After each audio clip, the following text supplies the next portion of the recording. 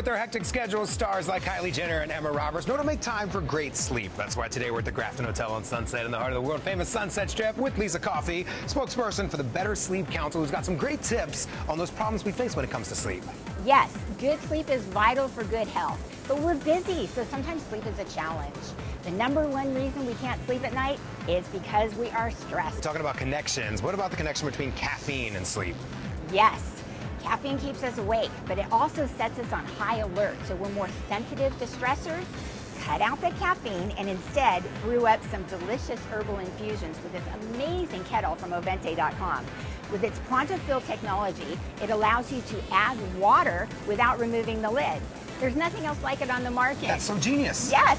Just boil, pour, enjoy, and sleep soundly. Oh, that'll definitely help calm you down. Now let's talk about the problems that couples face when it comes to sleep. Sharing a bed is one thing, but sleeping next to a snoring partner, yikes. Luckily, there is a solution. Drink plenty of water throughout the day. Okay. And at night, sleep with a humidifier to moisturize those mucous membranes and reduce snoring intensity.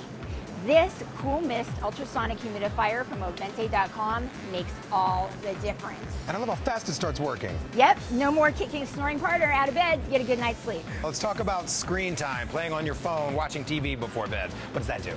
Electronic devices emit blue light, which stimulates the brain, making it more difficult for us to get into that restful mindset necessary for sleep.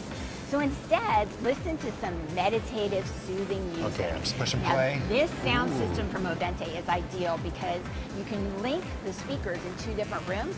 So as you're getting ready for bed, you don't miss a beat. Mmm, nice. Okay, what other tips do we need to know? You need to get a mattress that is just right for you. Remember that a mattress is the foundation of a good night's sleep. And if your mattress is more than seven years old, you need to get a new one. Rest test a few when you're out shopping.